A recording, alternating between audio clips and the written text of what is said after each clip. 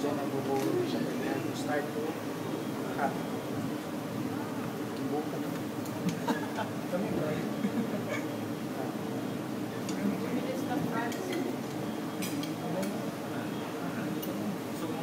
Oil na to.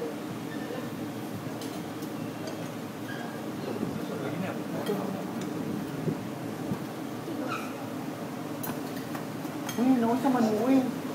Ano mga iring mo gero? Bilis! Naubos na chef, tingnan mo.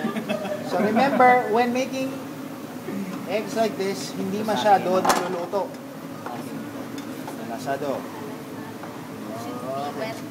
And that is it. Oh.